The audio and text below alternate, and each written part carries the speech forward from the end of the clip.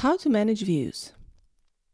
I have opened a timetable showing 40 teachers, but I would like to schedule only, let's say, English teachers.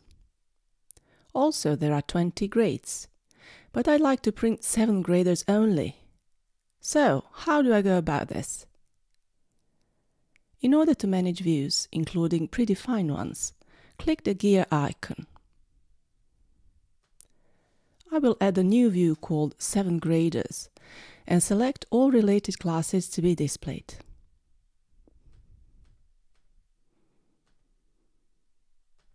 The app will automatically switch to the newly created view. Now I can focus on scheduling just 7 graders. If I choose to print, only 7th graders will show up. Let's create another view called English Teachers.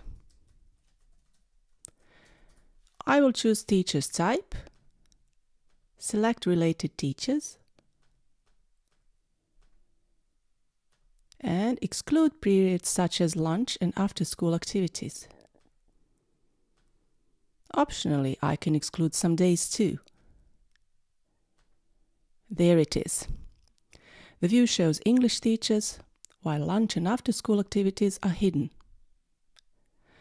Errors and warnings are shown in the currently open view, but if a related resource, day or period is excluded, the app will automatically switch to the view where the issue can be easily spotted. Each view is represented by a related icon with the first three letters taken from the short name. Hold the Control key on Windows or Command key on Mac while clicking the desired view to toggle the related extra view. In order to control the ordering, use up and down arrows. If you don't need the view, for instance, you're not scheduling rooms, then set its visibility to hidden. Hidden views won't show up when switching, and you can further fine-tune the visibility. For instance, the subject's view can be hidden on the published page if you don't want others to see it. Let's share the view with others. First, I will customize the displayed cards, for instance, to include the room's short name. Next, I will save changes and publish the timetable to the web.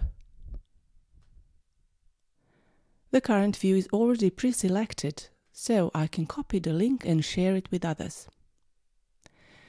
If I visit the published page, I can see that both rooms and subjects are hidden and the view shows only English teachers, while lunch and after-school activities are excluded.